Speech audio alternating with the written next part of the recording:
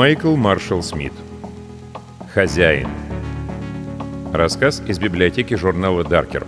Перевод Анны Третьяковой. Часть первая.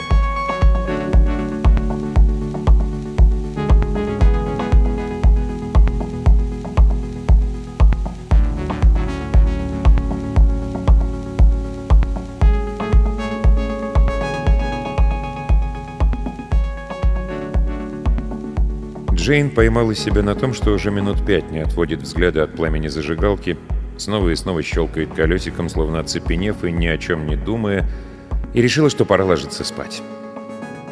Взглянув мельком на часы на картотечном шкафчике, было уже 0035, она откинула голову назад, прислушалась к хрусту шейных позвонков и попыталась найти силы, чтобы заставить себя пошевелиться. Обои, которыми владелец квартиры мистер Гиллок оклеил даже потолок, уже начали отходить посередине. Штукатурку возле окна бороздила большая трещина, а ее младшая сестренка расположилась на стене кухни. Чтобы жить здесь, Джейн приходилось платить 230 фунтов в неделю. Один фунт 36 пенсов в час.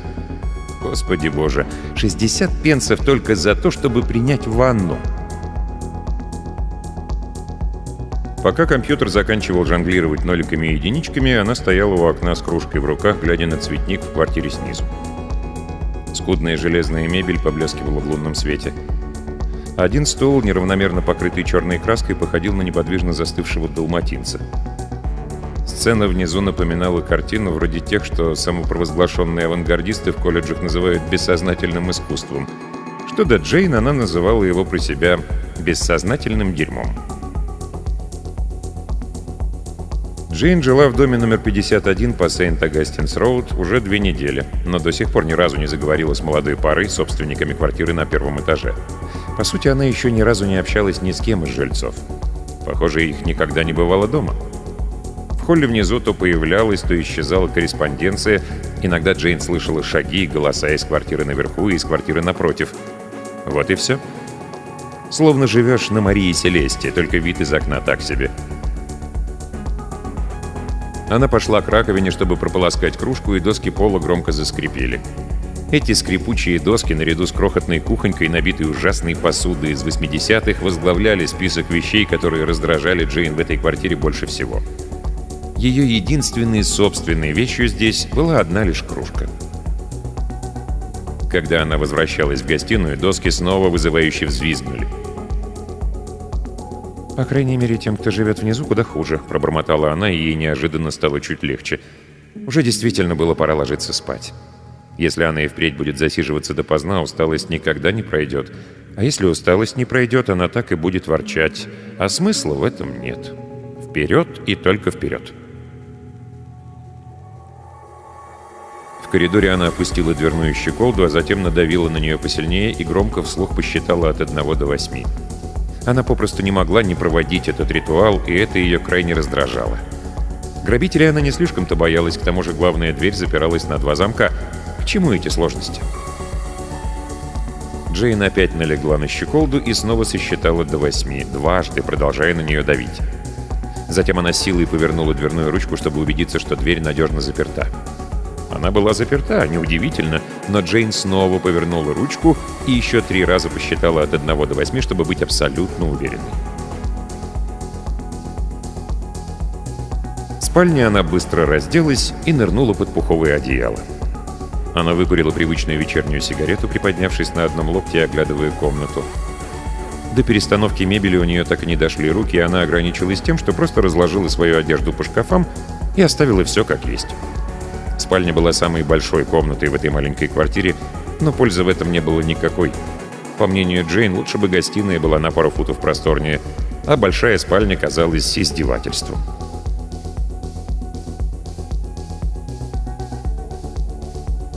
Поймав себя на очередной неприятной мысли, Джейн высунула ногу из-под одеяла, но остановила себя. «Боже», — подумала она, — «ну ты и нытик, заткнись уже и спи». Она закуталась в одеяло и повернулась на бок. Что ж, хотя бы подушки хорошие, мягкие. Несколько минут спустя, уже засыпая, она услышала скрип. Скрип повторился на этот раз громче, и Джейн широко открыла глаза. Не отводя взгляда от стены, она прислушалась. Скрип, кажется, доносился из коридора. За дверью загудели голоса, в коридоре вспыхнул свет, и за стеклом входной двери показались силуэты. Это соседи из квартиры напротив вернулись домой. Вот и все. Джейн закрыла глаза и погрузилась в сон.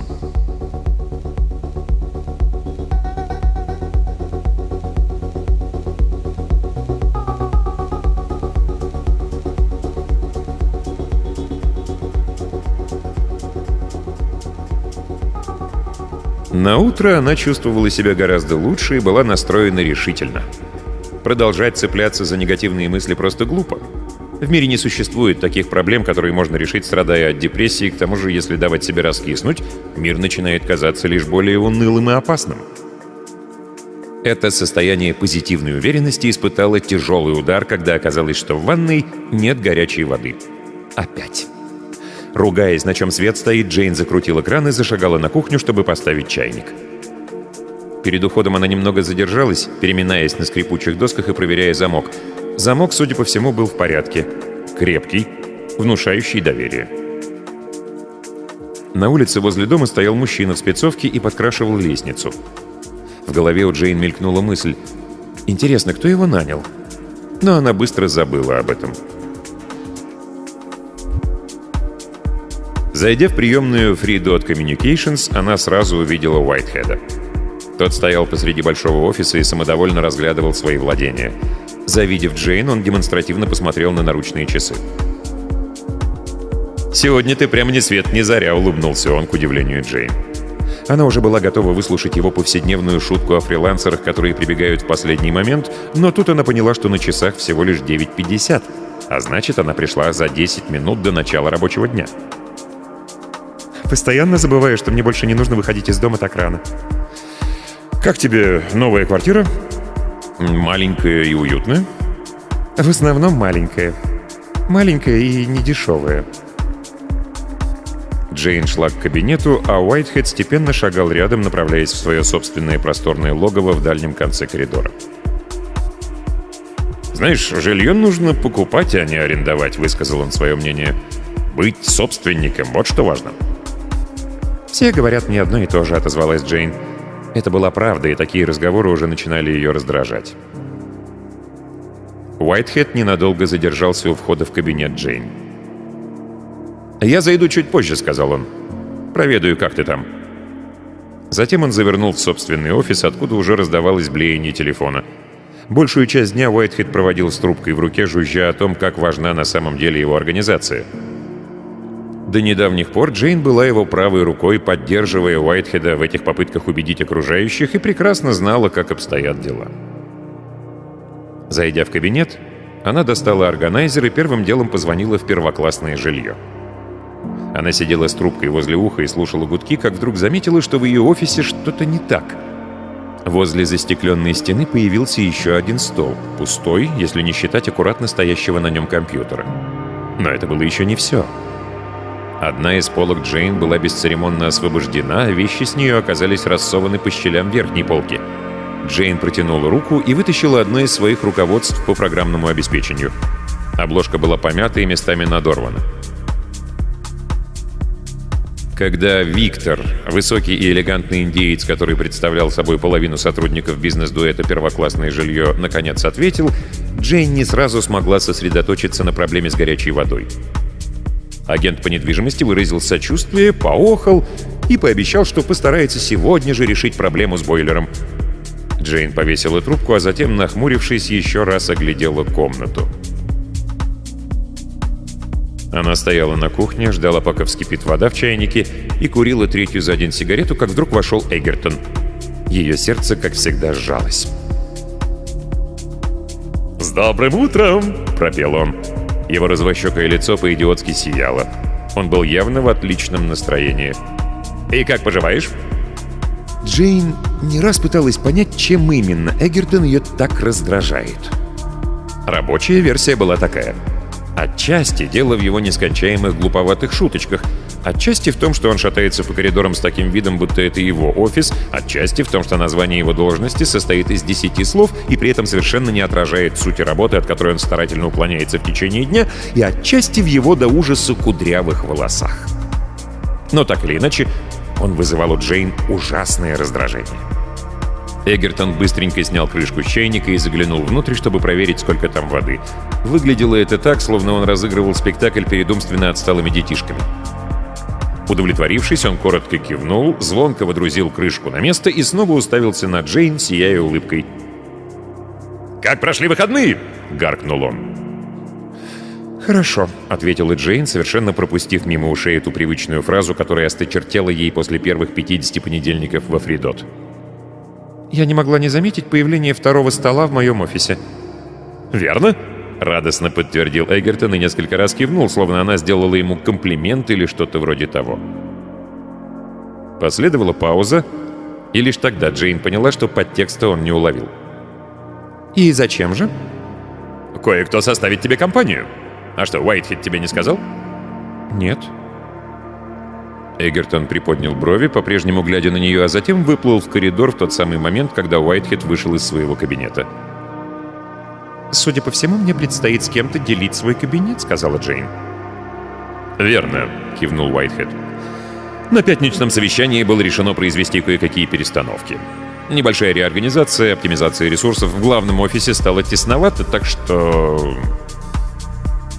Он протянул окончание фразы, словно что-то недоговаривая.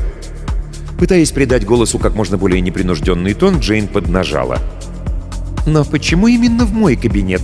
Он не самый большой». «Это так, но поскольку ты теперь работаешь только три дня в неделю и фактически не входишь в число официальных сотрудников, то...» Джейн кивнула, показывая, что все поняла. Она действительно все поняла. Три года она брала на себя половину обязанностей Уайтхеда, а теперь стала обычным фрилансером, сидела там, где ее посадят, и делала то, что ей скажут. «Ясно. И кто же?» «Камила». «Камила? Так ведь она работает у нас, то есть у вас всего три месяца». «Знаю, но она демонстрирует успехи и умеет пользоваться маком, так что...»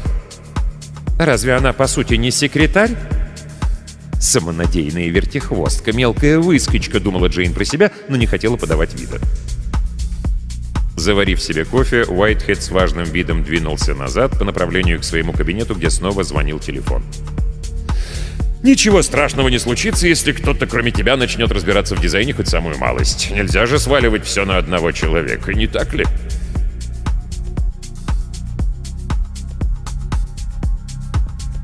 Стоя на платформе северной линии метро в ожидании поезда домой, Джейн уже немного успокоилась. Назойливое раздражение, которое копилось в ней в течение всего дня, исчезло, уступив место усталости и опустошенности, как только она вышла за пределы Фридот. Гребаная Камилла! Через несколько минут после разговора с Уайтхедом секретарша, она же работник месяца, проскользнула в кабинет Джейн и уселась за новенький стол — Остаток дня она провела то оглушительно громко барабаня по клавиатуре, то заглядывая через плечо Джейн, пока та заканчивала проект внутреннего дизайна новой корпоративной брошюры. В какой-то момент она спросила Джейн, нет ли какого-нибудь способа попроще, чтобы закончить задание, над которым она сейчас работает. Джейн казалось, что ее вежливый ответ должен заткнуть девчонку до конца недели, но этого не случилось. Джейн изнемогала от жары в душной подземке. Ее теснили толстые тела, чьи-то длинные волосы лезли в лицо, а Джейн пыталась найти логическое объяснение своим чувствам к той девчонке. Ей всего 19. Она хочет развиваться, в этом нет ничего плохого. И она не виновата в том, что рассвет ее карьеры совпал с закатом карьеры Джейн. Джейн закрыла глаза и попыталась забыть о людях вокруг и снова поймать состояние позитивной уверенности. Открыв глаза, она обнаружила, что поезд замер на станции Морнингтон Крессент. Поддавшись секундному импульсу, она вышла на платформу. Идя по тротуару, Джейн яростно боролась с ощущением, что вряд ли это хорошая идея. В конце концов, они ведь теперь друзья. Но друзья ходят друг к другу в гости, разве не так? Она остановилась на углу возле цветочной лавки и купила маленький букетик ирисов. Возле входной двери она в очередной раз подавила вспышку сомнения и нажала на кнопку с номером квартиры Эндрю. Последовала пауза, а затем бесплотный голос, сопровождаемый привычными помехами динамика, что-то сказал. «Привет!» — весело отозвалась Джейн, чье сердце бешено колотилось. «Это я!» Последовала пауза. «Джейн!» — добавила она уже не так весело. «А, да, привет!» «Ты меня впустишь?» «Да, да, извини!» Замок зажужжал, и дверь открылась. Когда Джейн поднялась по ступенькам, оказалось, что дверь приоткрыта, и она сразу вошла. «Я принесла цветы», — сказала она с улыбкой, «потому что знаю, что ты никогда не...» Эндрю смущенно стоял у двери, сунув руки глубоко в карманы. На диванчике сидела высокая загорелая девушка в зеленом костюме, который идеально оттенял ее небрежно распущенные светлые волосы. Джейн сделала пару неуверенных шагов и оказалась внутри комнаты. «Ну?» — с поддельным воодушевлением сказал Эндрю. «Знакомьтесь, Джейн — это Ники, Ники — это Джейн». «Привет», — сказала девушка, и прежде чем она успела опустить голову, Джейн успела заметить, как отвратительно идеальны ее скулы.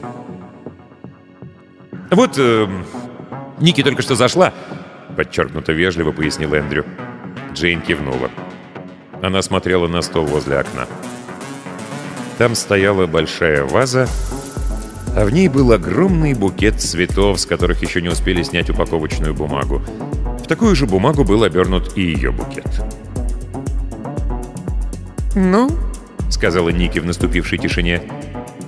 «Мне пора». Эндрю проводил ее к выходу, а вернувшись, начал было убеждать Джейн в том, что Ники действительно зашла только на минутку. Но ему можно было не волноваться об этом. Джейн ему верила. Ее шок объяснялся лишь тем, что она увидела ее впервые.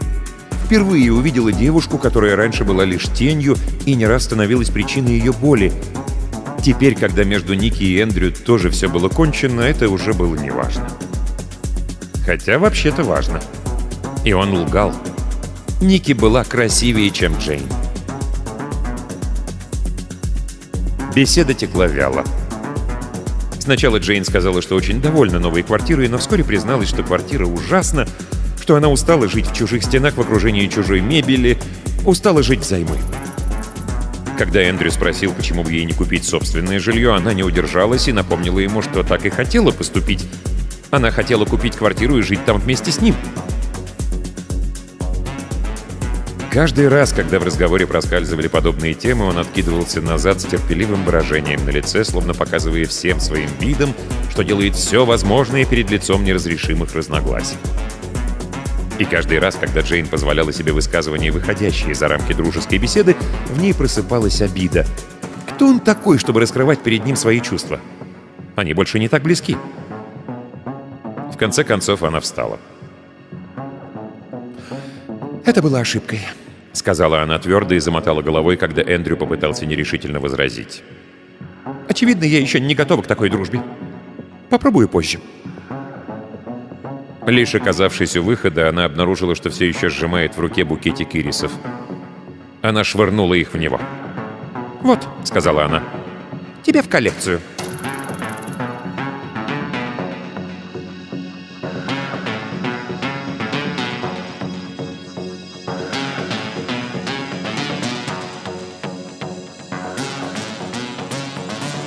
Остаток вечера Джейн провела лежа на диване и делая вид, будто читает, хотя на самом деле она просто пыталась ни о чем не думать. Как только она отвлекалась от напечатанных слов, в ее голове тут же возникали картинки и фрагменты воображаемых сцен. Вот смеющийся профиль Ники на фоне белой стены в квартире Эндрю. Вот Ники тянется за чем-то, находящимся вне пределов видимости, рука Эндрю его запястье, как он тянется к ней, Каждый раз Джейн начинала мотать головой, чтобы стряхнуть эти образы. Шарила взглядом по комнате, ища над чем бы остановить взгляд, ища что-то, что поможет ей вернуться к реальности. Но ничего не находилось. Все ее книги и остальные вещи были словно мох в щелях на мостовой, словно игрушки на пустой детской площадке. В них не было никакого смысла. Их единственной ролью было напоминать ей, что это не ее квартира, это целиком и полностью квартира хозяина. Его присутствие чувствовалось даже в стенах. Телефон зазвонил так неожиданно, что Джейн вскрикнула. Она подскочила к аппарату, сердце колотилось. Звонил мистер Гиллок, владелец квартиры. Она продиктовала ему номер первоклассного жилья и нетерпеливо бросила трубку.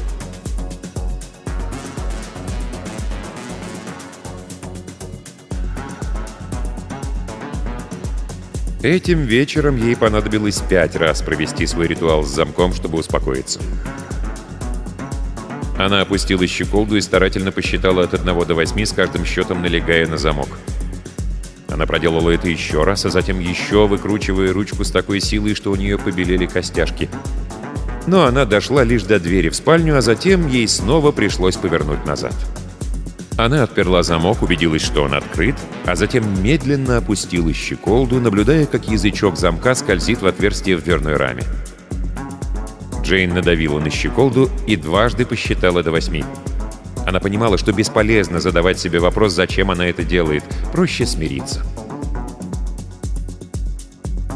Открыв шкаф, чтобы повесить блузку на вешалку, она увидела внутри что-то и вздрогнула. Секунды позже она поняла, что это всего лишь одна из отвратительных вещей мистера Гиллока. Большая бутылка из-под шампанского, из горлышка которой торчал огромный пучок помпасной травы.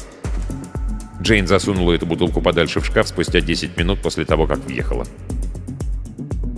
Она подвинула вешалку с одним из своих пальто, чтобы не видеть бутылку.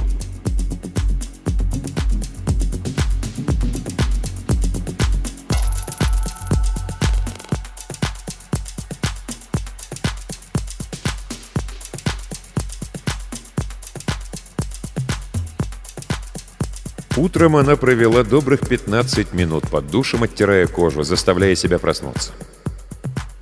Она чувствовала себя лучше. Пора смириться с тем, что Эндрю больше не часть ее жизни. Он даже разошелся с той девушкой, с которой изменял. Это пройденный этап, часть истории. Причем отнюдь не самые интересные истории, на ее взгляд. Все равно, что думать о сварке. Джейн с такой силой сжала мыло, что когда она особенно высоко подняла руку, мыло выскочило, срикошетило о кафельную стену и ударило ее в грудь.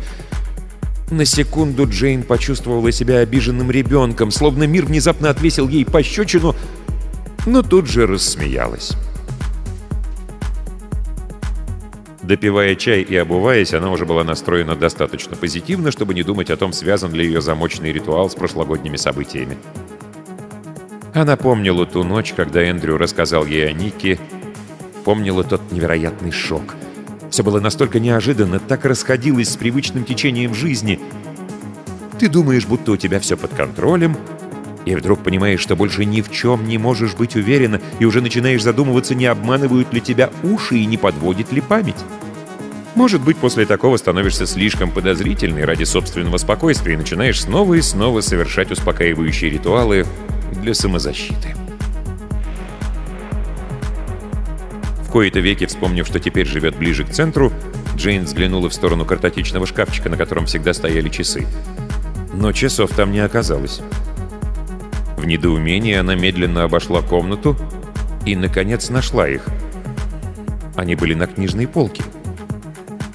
Сетуя на свою рассеянность, Джейн покачала головой, вернула их на место и отправилась на работу.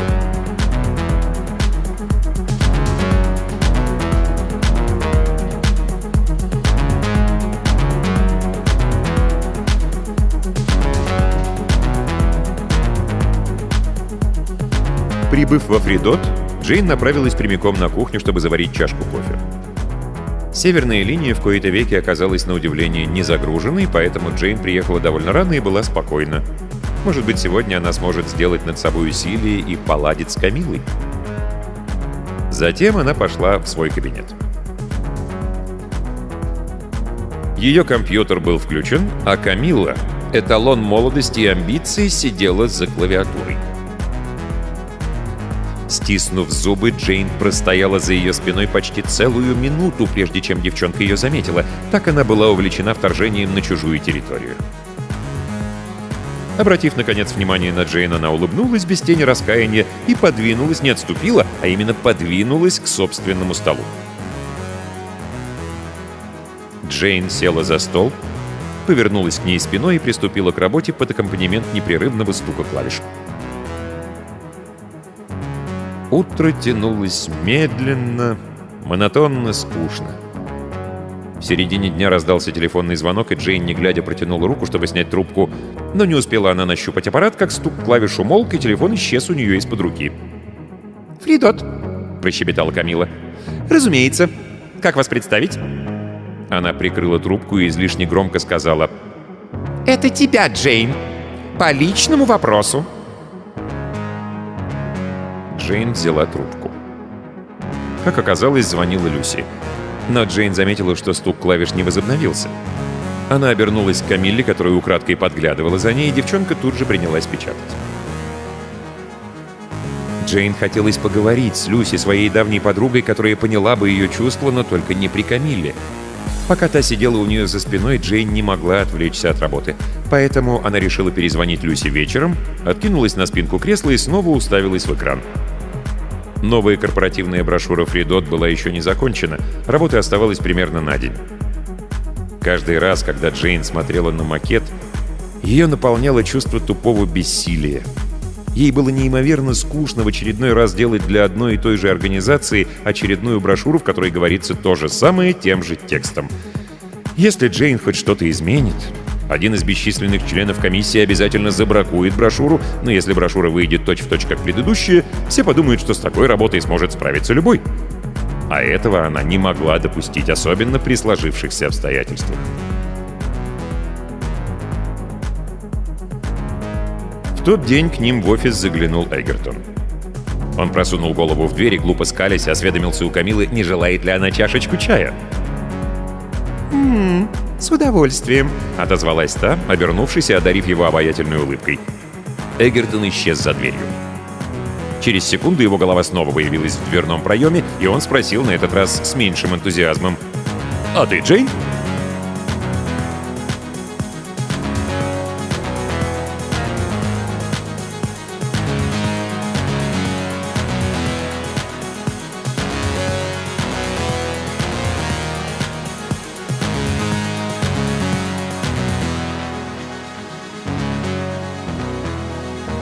Пути домой она зашла в Сейнсберис и с трудом зашагала по Агаргроув, неся в каждой руке по тяжелой сумке с любимой едой, среди которой были свежие шоколадные пирожные.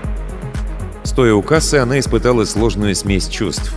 Вину за то, что она покупает так много вредной пищи, и в то же время желание нарушить запрет. Она может себе позволить набрать пару фунтов, и в конце концов, кому до этого есть дело? Если больше некому ее побаловать, то она сама о себе позаботится.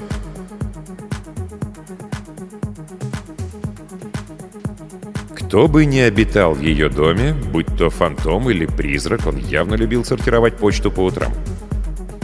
Когда Джейн открыла дверь и, звеня ключами, вышла за порог, она увидела аккуратно сложенную стопку писем. Все они были адресованы владельцу квартиры, за исключением счета по карте Баркли-Карт. На автоответчике было одно сообщение. Для мистера Гиллока.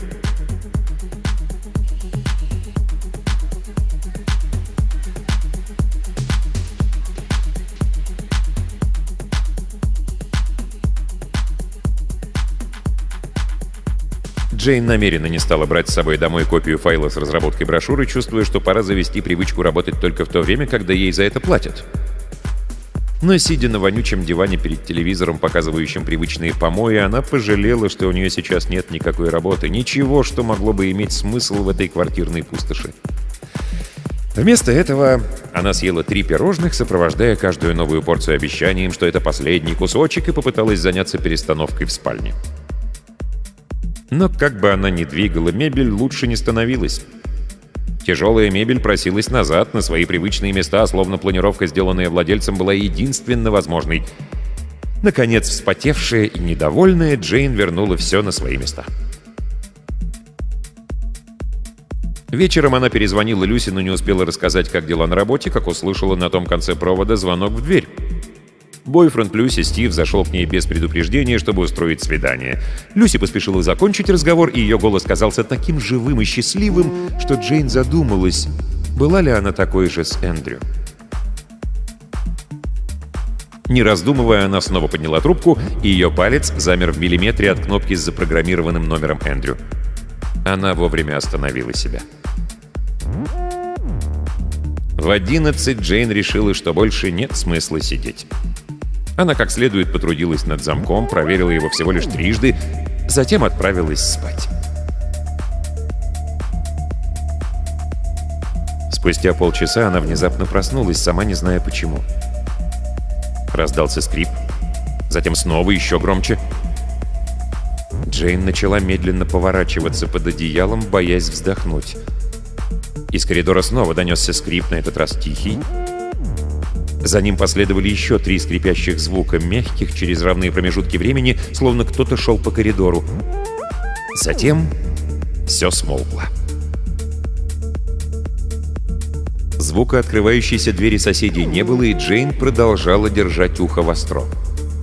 Наконец она поняла, что не сможет уснуть, если не проверит, в чем дело, и тихонько поднялась с постели. Вглядевшись в коридор, она заметила, что из ванной льется голубоватый свет.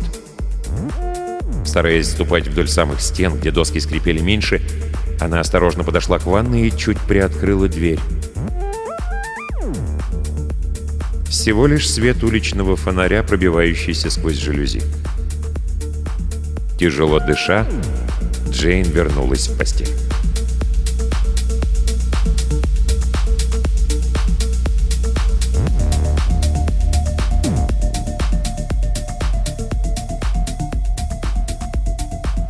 «Какого черта?»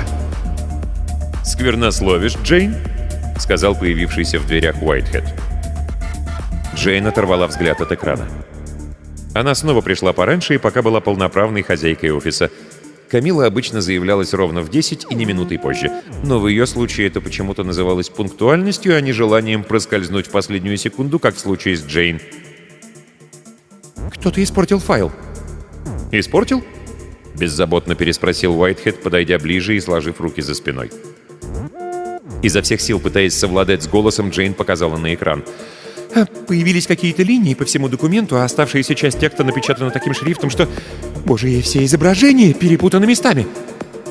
«Ты хотела сказать, кто-то закончил работу?» Джейн в изумлении обернулась на него. «Закончил?» «Да», — подтвердил Уайтхед, а затем снисходительно пояснил. То, что оставалось сделать, было сделано. «Так вы знали?» «Ну...» «Камила, да?» Джейн в ярости повернулась к экрану. Она вчера задержалась допоздна, хотела попробовать свои силы. Вроде бы она неплохо справилась, ты не находишь? Джейн сделала глубокий вдох и решила, что у нее есть полное право злиться. Два момента. Во-первых, здесь все работают на компьютерах, над своими файлами на своих компьютерах. Если я засижусь допоздна и испорчу чей-то проект, меня вышвырнут. А если это делает Камила, ее гладят по головке? Она ничего не портила, она спросила разрешения. И вы ей позволили? Да. Уайтхед спокойно смотрел на нее. А что во-вторых? Все эти линии не выровнены как следует. Мне придется переделать каждую. Текст не привязан к базовой линии, значит, и это мне придется исправить, не говоря уже о том, что все изображения нужно вернуть на место. Она сдвинула логотип, и от этого поехал весь макет, и мне теперь придется возвращать все как было, и еще она ухитрилась испортить все интервалы. Чтобы все исправить, мне потребуется в три раза больше времени, чем оставалось, чтобы закончить. Плюс ко всему, я даже не могу откатить изменения до вчерашнего состояния, потому что она сохранила все в исходном файле. Так что да, — отчеканила Джейн, чувствуя, как голова начинает кружиться. «Она вполне неплохо справилась!» «Джейн...» «Все это не так просто, как кажется, знаете ли». «Я знаю», — сказал Уайтхед довольно резко, но тут же сменил тон на примирительный. «Слушай, ей еще нужно подучиться, и она не права, что пересохранила исходник. Я отчитаю ее за это, хорошо? Она же учится». Уайтхед улыбнулся ничего не значащей улыбкой и вышел. «Ага», — сказала Джейн ему вслед.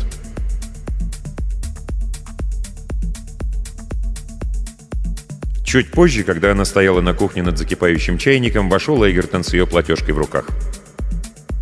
«Ваш счет за 28-е получите!» — пропел он, а затем, хотя он лично выписывал чек, внимательно прочитал, что в нем написано, прежде чем передать его Джейн.